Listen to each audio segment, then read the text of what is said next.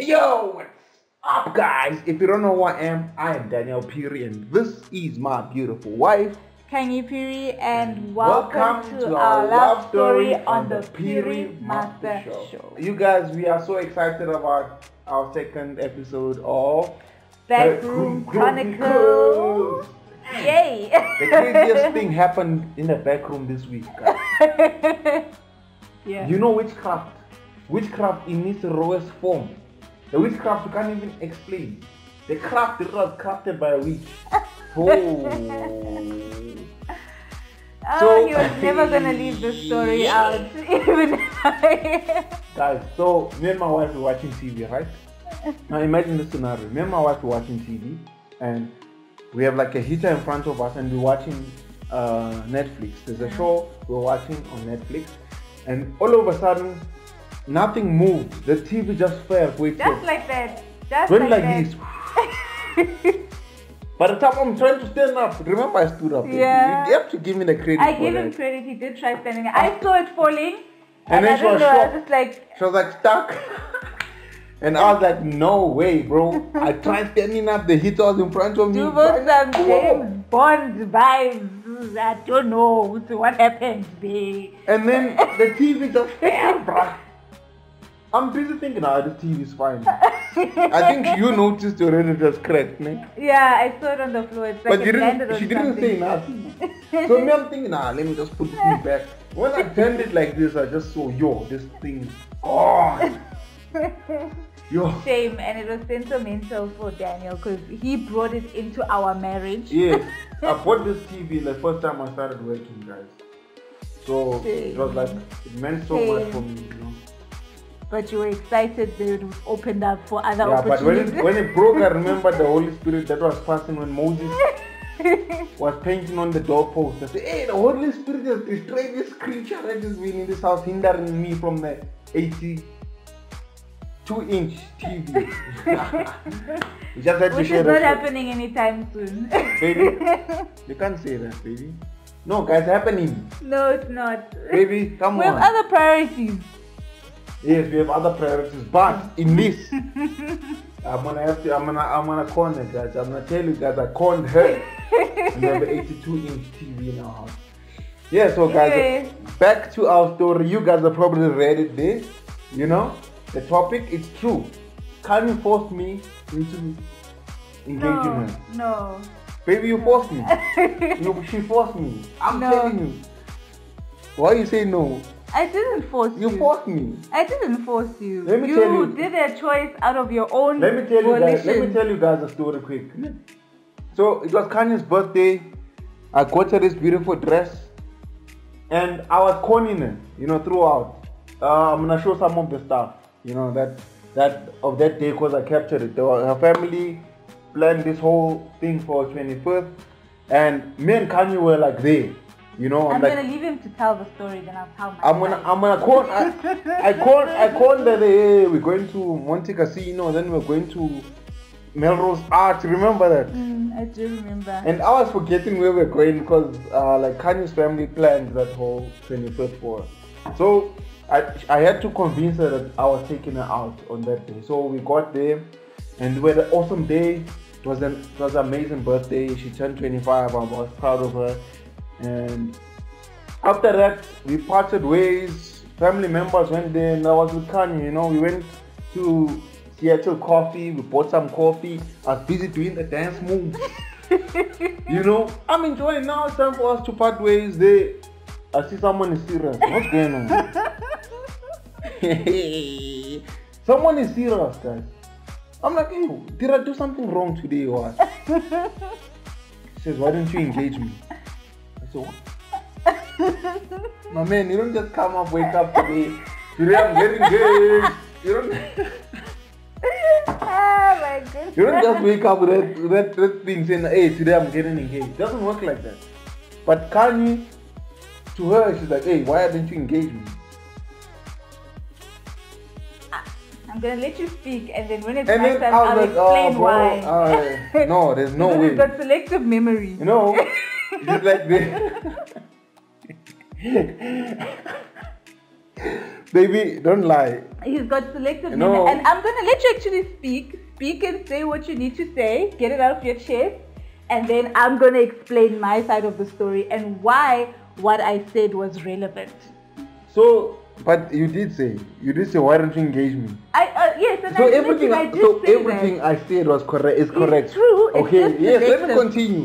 So now, guys, I let there, I heard it all. I see someone starting to cry. How? Now they're crying. You didn't engage me. Ah, what, what, what? It was really important to me. I was really thought you were gonna engage me today. I'm like, "Ah, What's happening here, bro? So I became angry. I'm like, hey, because me and Khanyi were supposed to get married that year. End of 2019. 2020. We got married in 2020, baby. We're- we're 2019. We're supposed to get married end of 2019. And after that whole thing, that drama, like, hey, this one dangerous, this one, hey, you have to cut this. I told her, hey, bro, from now on, no more engagement. I don't want to talk about wedding, nothing, bro. I don't want to talk about nothing. because that thing scared me, bro. It's like, hey, this woman can just be there like one day at night. You promised me lunch. Look, now you're sleeping. I have the night. Okay, let me let me tell my side of the story, and you understand why I thought he was gonna engage me that day. So what happened was, ne, Daniel and I we met in December 2018. We we didn't meet then, but we we started talking, you know, uh, then. So we've known each other, maybe seen each other walking past each other at church Yeah. and stuff like that. And then officially we started to chat towards the end of 2018, around November or so. And um, after that, when we met in December, you know, we proper met, had a date in December. So now we have this date, and we're like, you know, I'm like, goodness, you know, we are really vibing. Like, you know, this this thing is working. You know, we both I have agree. the same goals, we have the same beliefs. You know, like it was, it fire, was flame. Yes, it was flame. And Daniel, in his excitement, ne, he starts talking about marriage. So me, I'm like, hey, kunomshado la, kunomshado, I guys. never. Ah, ah, ah. I'm like, hey, I'm getting married, Eh, guys. eh, eh. I'm getting married. I You never like- thought. She was on the street. Remember, someone was on the street. I'm like, hey, kunomshado, was guys. I'm getting married. You know, this is good. So there I am You in saw someone, you saw a guy was taking you off the street. You were And, and mind you, Daniel and I were different. I'm an accountant, ne? So when somebody tells me something, I hold them to it. I'm Ah, like, okay, ah, ah. you tell me something. So me, I know what you tweet. No, you say things in excitement.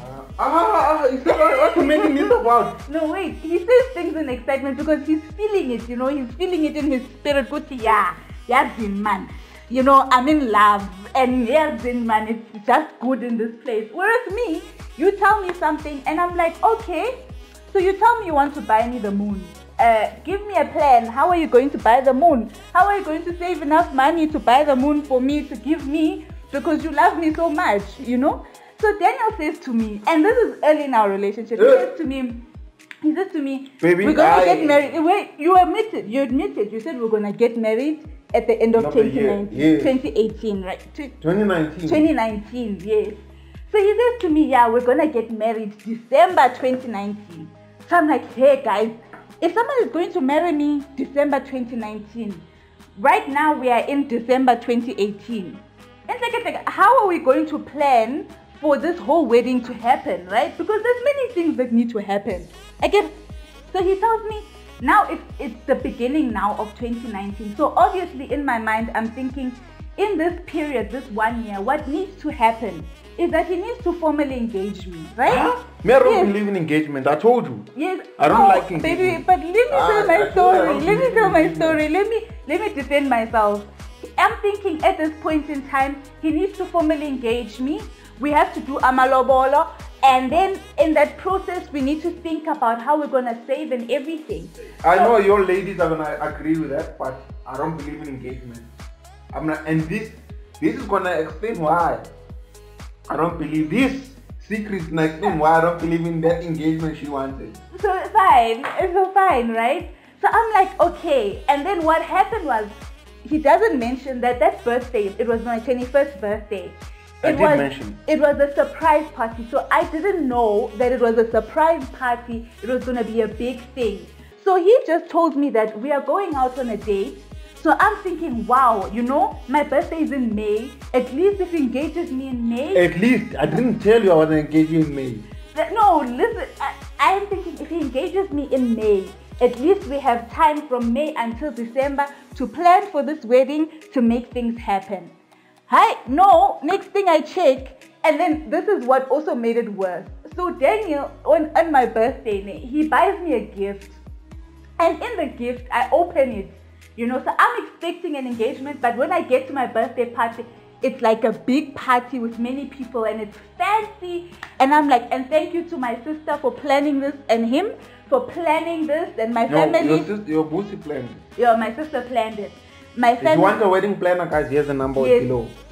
An event planner. She's an amazing event planner. Amazing. She planned our wedding. She planned that party. It was to do. It was like, you know, five star. So I'm thinking, gosh, guys, this thing is to do. You, you can just kill two birds with one stone. Birthday, engagement. You're yeah. in your head, in her head. That's in, my your head. That's what in I'm saying, guys. but if you that, understand my logic, my even in court, even in court, this one they can see that I this guy. I didn't say I'm gonna engage you that day. But it's, it's logical that if you're going to engage someone within a year, at some point you have. If so you're why did you choose your birthday? Because it made sense. Because it gave enough time for everything to happen within that year. You understand? And then what made it worse was now, okay, in my mind, subconsciously, I was already thinking an engagement is happening today, guys. Yeah. I'm getting engaged. on your own. Whether I was on my own or not, the point is that was the, what was happening. That's what I've been trying to say. then he gives me a gift. I literally forgot the present in the house. I came from running there now, and here it is.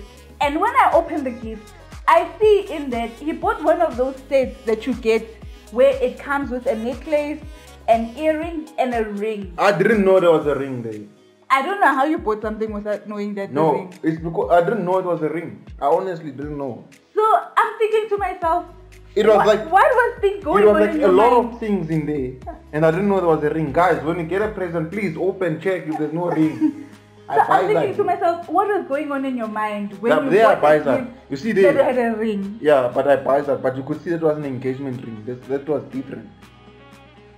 So anyway, um, he buys me this this thing, and I'm looking at it, and I'm like, I mean, I was expecting an engagement. Why on earth would you buy me a ring, and then on top of that, you're not engaging? So what am I supposed to do with this ring? And when I wear this ring in front of people, what are they going to say? I didn't say wear it.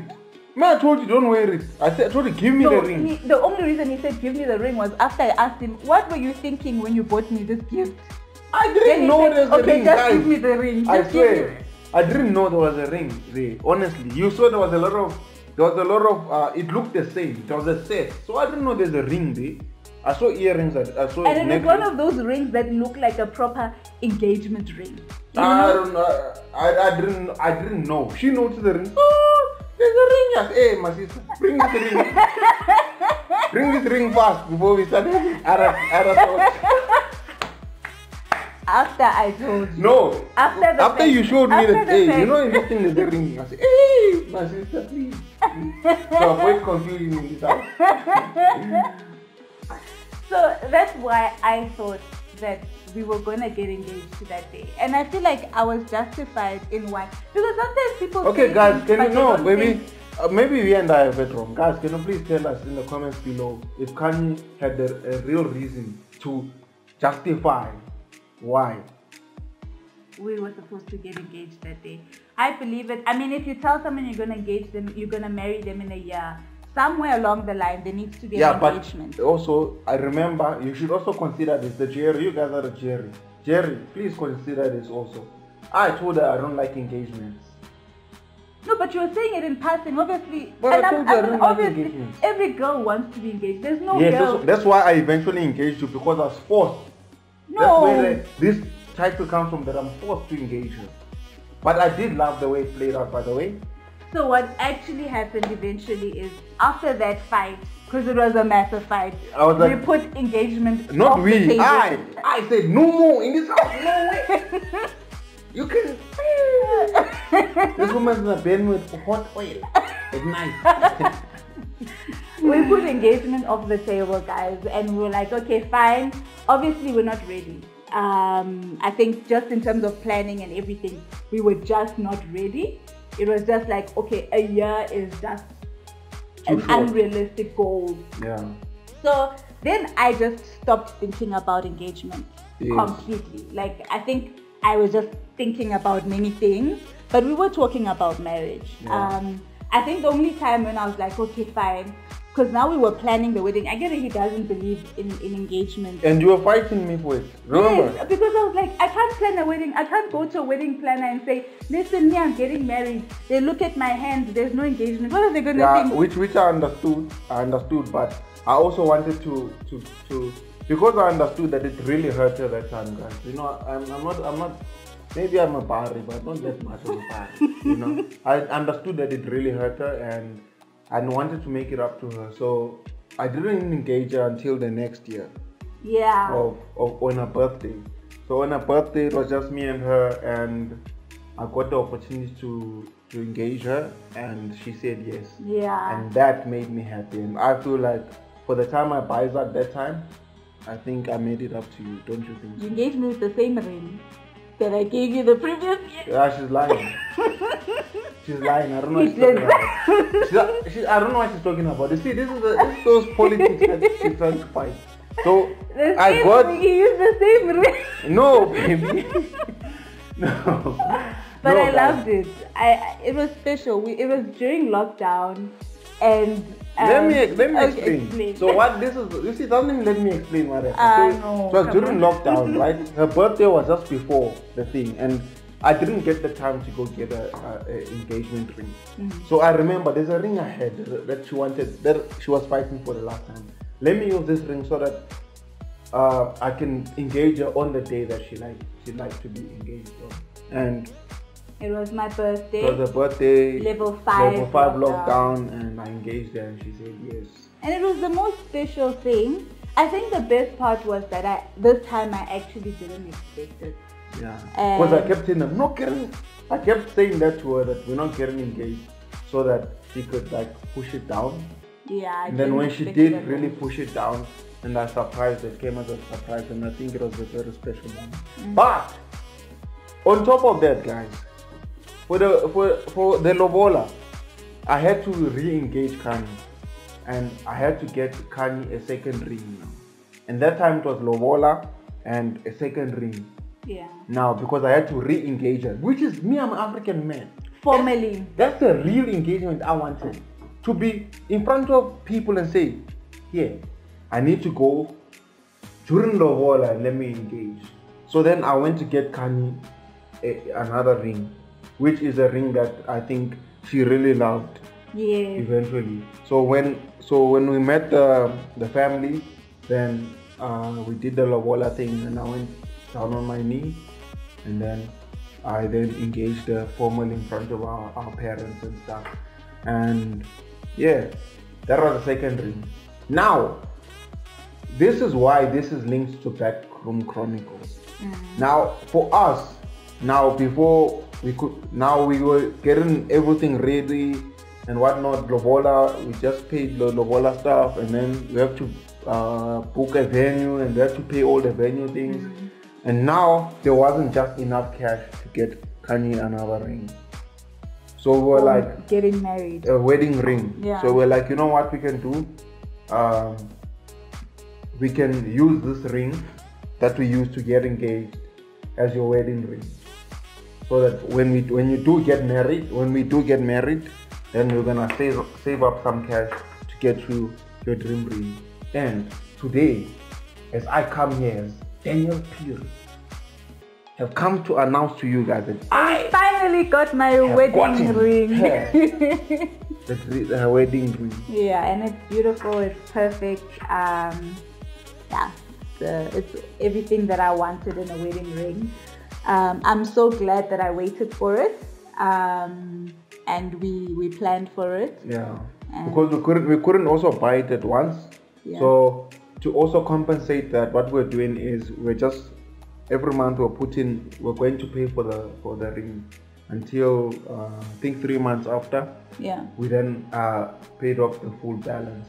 You know. Yeah. So we just want to say that sometimes you want something and maybe you don't have the finances to do it at once. There's other ways. Find other creative ways. Yeah. You can you can get your woman or you can achieve what you want to achieve. And the best things in life are worth waiting for. hmm So um, yeah, that was our engagement story. Um, hope it was fun to listen to. And yeah. Yeah. And that is why I was forced to get engaged. He was not forced to get engaged. It was just the right thing to do. Right. Thank you guys. If you liked this video, please subscribe, hit that notification bell, and please comment. Tell us. Yeah. You guys can be the jury. Tell us who is wrong or right here. Yeah. You know, I can't be a sole loser continuously. Have mercy on me, judge and jury.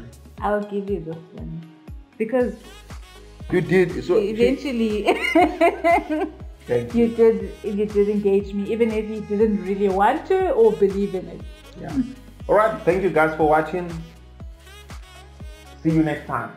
Peace. Hey, are you subscribed to my channel? If you're not, you should totally subscribe to my channel. And even if you're already subscribed to my channel, you could tell a couple friends to go subscribe to my channel. Because this video is over now.